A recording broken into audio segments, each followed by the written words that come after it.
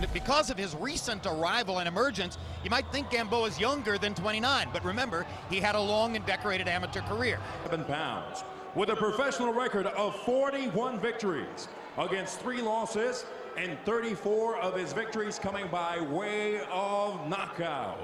Defeated fighter with 20 victories, 16 of those victories coming by way of knockout.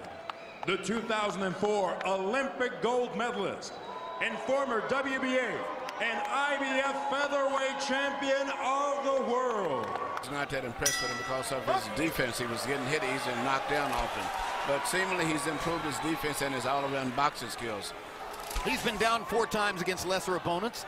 That's because of a tendency to simply drop his hands and walk in.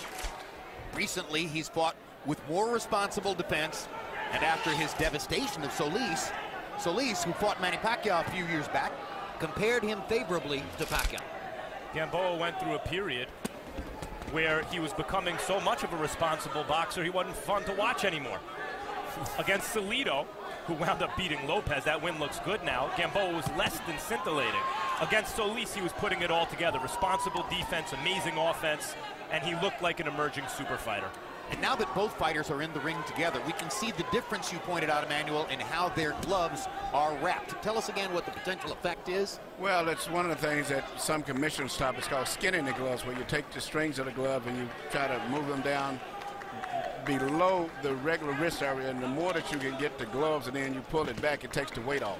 But in this case sure, I don't think they've did that, but they've used the taping a lot lower on Gamboa. So, so in, in effect, what you're lighter. trying to do is you're trying to turn an eight-ounce glove into a six-ounce glove. Yes, you pull the weight by back. pushing the padding down into the wrist. Yes, that's what you do, and that's exactly what happened. It's a little small thing, but it can make a difference going down the stretch.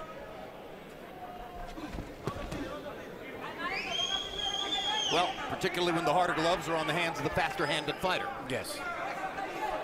Could lead the cuts. But but so far, you know, I'm looking at Ponce de Leon. He, he's keeping a good tight defense. He hasn't left hips open at all. And, uh, you know, he still is a big puncher. It's something you can never count out his punching power. But overall, he's just maybe a little bit slower, but his punching power is very good still. Well, he's more experienced than Gamboa, and he yes. looked very relaxed in there in the first round. Yes. He's so much better than he was three or four years ago. He has more dimension to his game now, Ponce de Leon. Well, I mean, even though he wound up on the losing end against Broner, the way he fought had to give him confidence. Harold Lederman scored the fight for him. Many felt that he had done at least as well as Broner in the fight. And Broner's a prize prospect with a lot of talent. Well, he's going tit for tat this round and may have won the round up until this point. He, he was just he just outlanded Gamboa. Yes. Middle of the ring, landed straight left hand. And he's making Gamboa's punches go to the outside of his defense. He's moving and smothering the punches by moving inside, which is surprising. And he's relaxed, and he's timing things so well that so far the big speed advantage for Gamboa isn't showing up. No, it's not. Long jab for Ponce de Leon. Pronounced southpaw stance. He will open his shoulders to slug when he gets inside.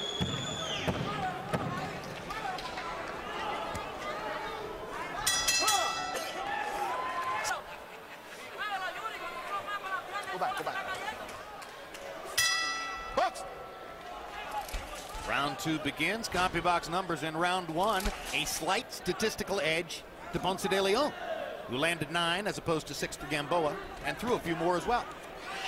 But Harold Lederman scores the first round for Gamboa, the eight to one favorite in the fight. De Leon reminds me of a, a southpaw pitcher who's finally learned how to pitch, has a feel for it.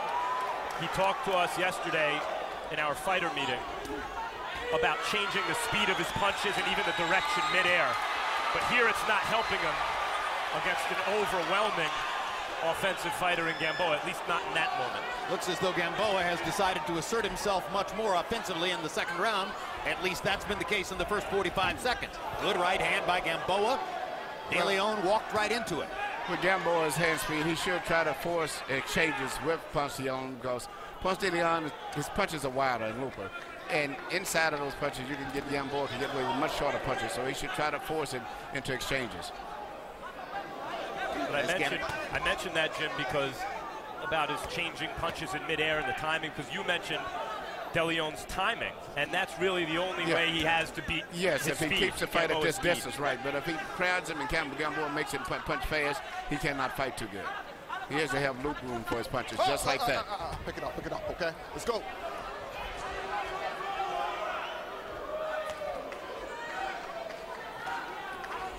Referee Alan Huggins has warned Ponce de Leon for the low blow on that looping punch from the outside.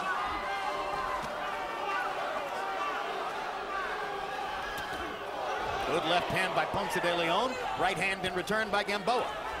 Fighting this way, I'm surprised that Ponciano is doing very well. Good body shot Yeah. by Ponce de Leon. Gamboa came back with a left. Not that it matters anymore, guys, because Stop, Juan Manuel Lopez stop, lost, but okay, okay. Behind Lopez has finally Go to it, looked better it, go to against an opponent than Cut it out, Gamboa. cut it out. Lopez knocked out De Leon in one round. Otherwise, Gamboa's blown away the opposition more easily than Lopez has. Well, Juan Manuel Lopez's great punch is his very quick right hook. And he caught Ponce de Leon with a counter right hook that he never saw coming. That's what created the knockout. Kind of like those two shots from Exactly Gamboa. right. Didn't see those coming either. That's what Gamboa needs to do is force exchanges, make him fight toe-to-toe. As he said, I love to trade. I love to trade because I know I'll get there faster. Punch it out, punch your way out, punch your way out, punch your way out.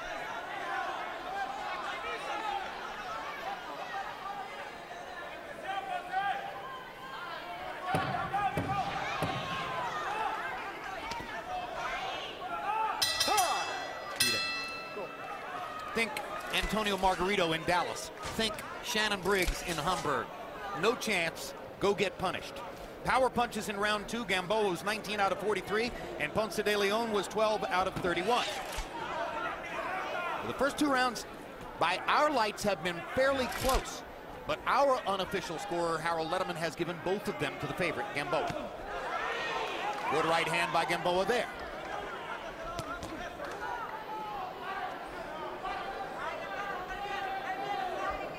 Little by little, Gamboa's dominating speed advantage is beginning to show up.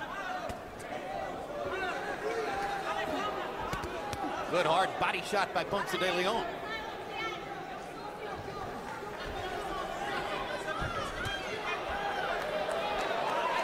Missing wildly going for Gamboa's head. Might do better to keep focusing on the body where he's landed some significant shots.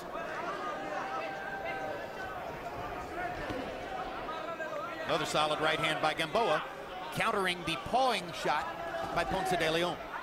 De Leon is wide and wild, but Emmanuel, he has a kind of funky rhythm that Yes, makes it a I little was going to say that. He does have a rhythm that is very unpredictable for Gamboa.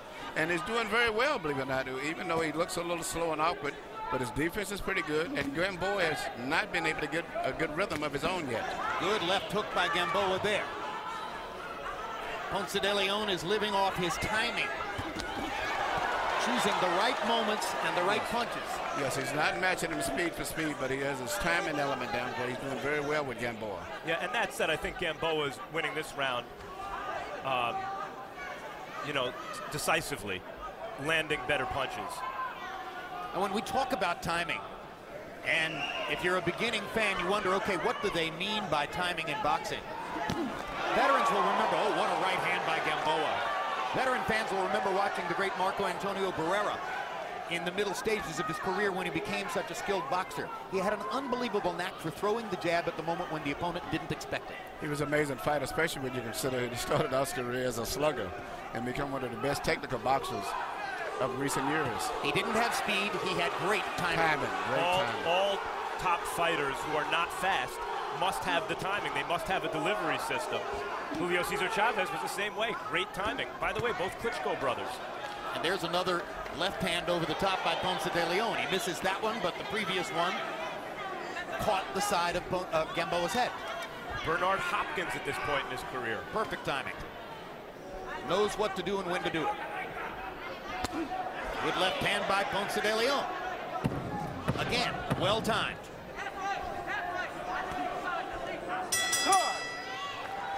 Ponce de Leon landing 30. They both have thrown in the neighborhood of 140. The statistical numbers pretty even. Harold, how do you have it through three? I'd say, Jim, I get a 3 to nothing, 30 to 27, Yuriorkis Gamboa, and I'll tell you why.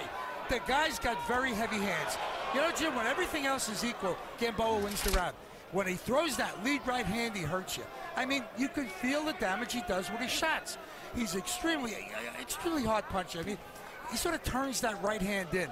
And I got to tell you, you know, Ponce de Leon waves at him a lot. He, you know, throws wide shots that really don't do a heck of a lot. On the other, hand, Gamboa, when he hits you, he hurts you. And when you're judging a fight, you're up close. You got to judge velocity.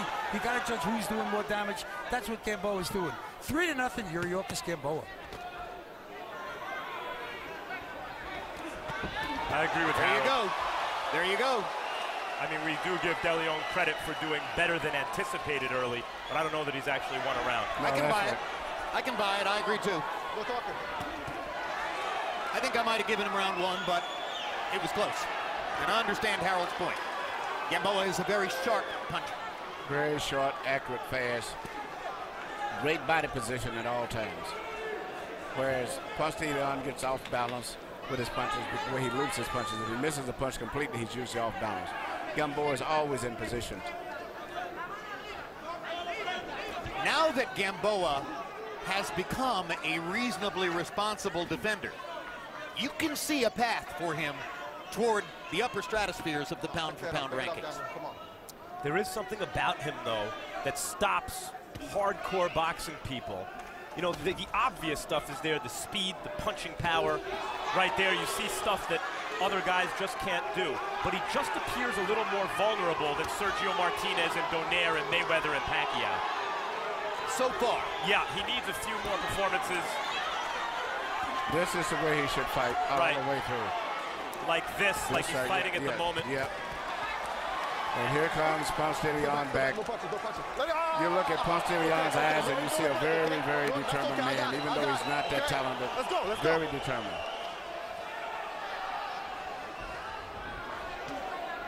Well, bottom line, they're both all man. They both fight with courage and style.